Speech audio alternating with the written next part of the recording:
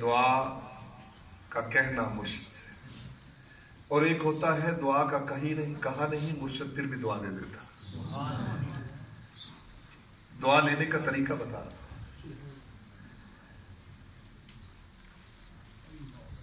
عثمان غنی رضی اللہ تعالیٰ تو جب ستر اونٹ رضوائے خندق داخل ہوئے، میرے آقا کی پیٹ مبارک پر پتھر بندے ہوئے تھے لیکن دیکھ کر خوش ہو گئے۔ حضور کے چہرہ انور پر خوشی کی اثرات آئی خوش نصیب ہے وہ مرید۔ دوبارہ فکر سنیے حضور بڑی خوبصورت فکر اچانک پیر بغدادی رحمت اللہ تعالیٰ کی برکت سے مجھے آنے کہ خوش نصیب ہے وہ مرید جو مرشد کے چہرے پر خوشی کا باعث بنتے ہیں۔ جو مرشد کے لیے مسکراہٹوں کا باعث بنتے ہیں۔ خوش نصیب ہے وہ اولاد۔ جو والدین کے لیے خوشی کا باعث بنتے ہیں۔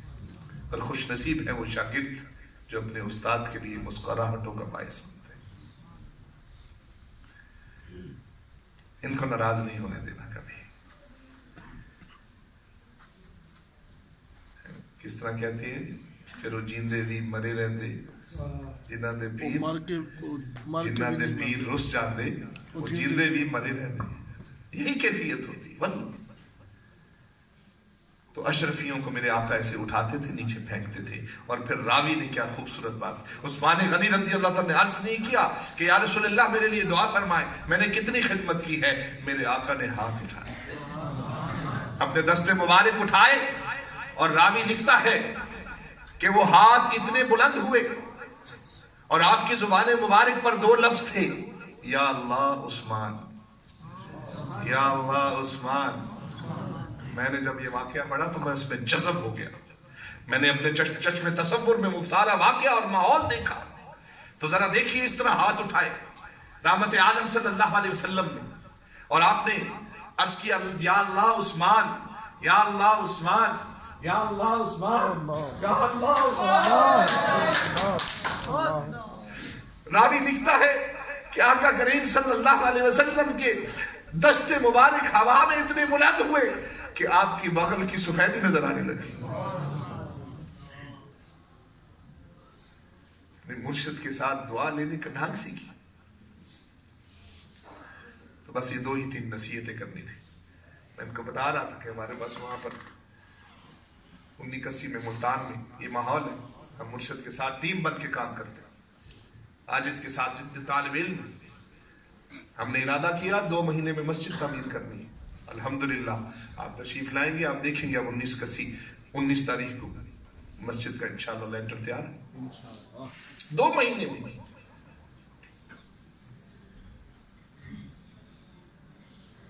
اور تقریباً کروڑ روپے اس مسجد کے اوپر والے حصے کی تعمیر پر ہے۔ ٹیم بن جائے۔ ان چیزوں سے نکلیے اپنی ذات سے نکلیے۔ اللہ کے دین کی خدمت کیجیے۔ رسول مکرم صلی اللہ علیہ وسلم کی دین کی خدمت فرمائیے۔ آپ تحجد گزار ہو جائیں گے، الحمدللہ، نیک ہو جائیں گے، نمازیں پڑھیں گے، آپ جنت میں جائیں گے۔ لیکن آپ کے اس جنت میں جانے سے مجھے کیا فائدہ ہے؟ حضور کی امت کو کیا فائدہ ہوا؟ حضور کو امت سے پیار ہے، یاد رکھیے۔ امت کے لیے کچھ کیجیے۔ نمازیں تو منافقین بھی پڑھ لیتے تھے۔ لیکن حضور کی امت کے لیے کچھ نہیں کرتے تھے۔ جس نے حضور کی امت کے لیے کیا، اب دیکھیں ان کے نام چمک رہے ہیں۔ آپ کے ذمے ایک کام ہے۔ آپ خلیفت اللہ فی الارض ہیں۔ اشرف المخلوقات ہیں۔ اللہ نے تمام مخلوقات کو آپ کے لیے مسخر کر دیا۔ صحابہ کرام کی زندگیوں سے ہمیں یہ میسج ملتا ہے کہ رسول مکرم صلی اللہ علیہ وسلم نے جو ان کے ذمہ کام لگایا، انہوں نے احسن انداز سے کیا۔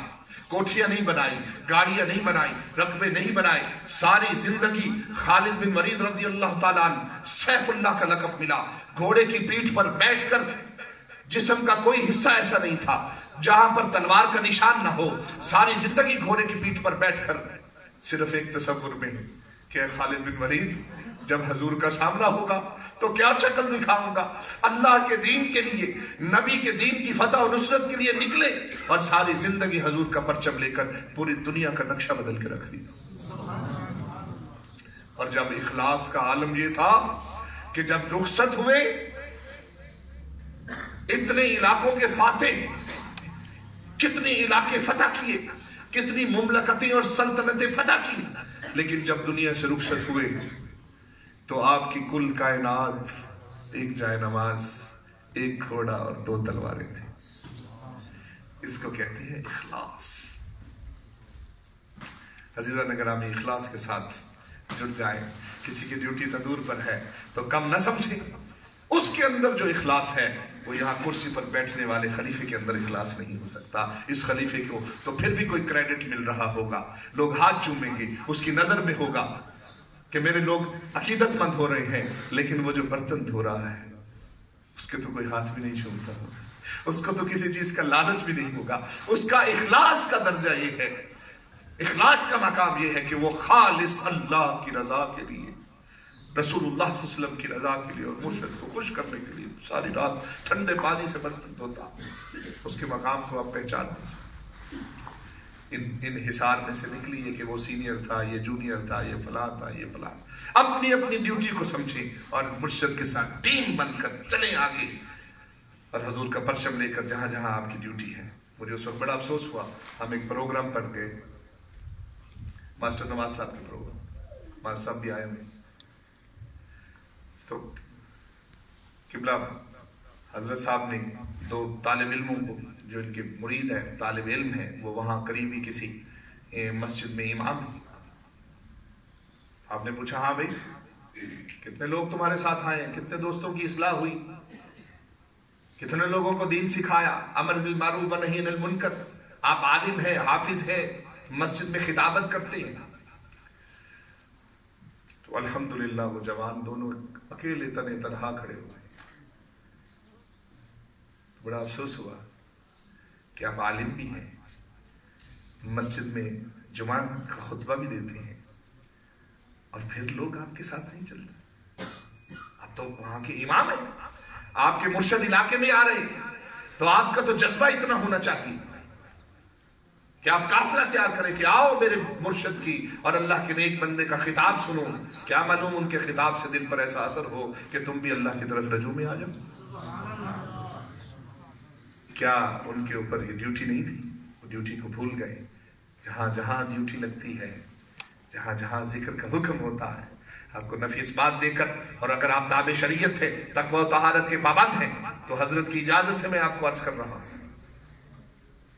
قبلہ شاہ صاحب کے جتنے بھی مرید ہیں، جو نفی اس بات کر چکے ہیں، مراقبات پر ہیں، تقوی و طہارت کے پابند ہیں سوم و سلاد کے پابند ہیں، شریعت کے پابند ہیں، ان کو اجازت دیتی ہیں کہ وہ اپنے اپنے علاقے میں محفلیں کروائیں اس انتظار میں نہ رہے کہ شاہ صاحب میری انگلی پکڑیں گے اور کہیں گے، پتر تو ہوں میں بھی شروع کر۔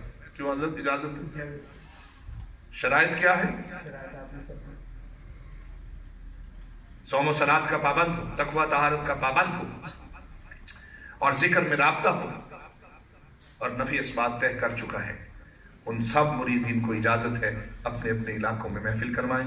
اگر قریب قریب پیر بھائی رہتے ہیں تو اپنے کسی دیہات میں نکل جائیں کسی علاقے میں نکل جائیں دوسری طرف اس طرف چلے جائیں۔ لیکن کہیں نہ کہیں بجائی شروع کریں انشاءاللہ فصل بھی لہلہاتی نظر آئے گی۔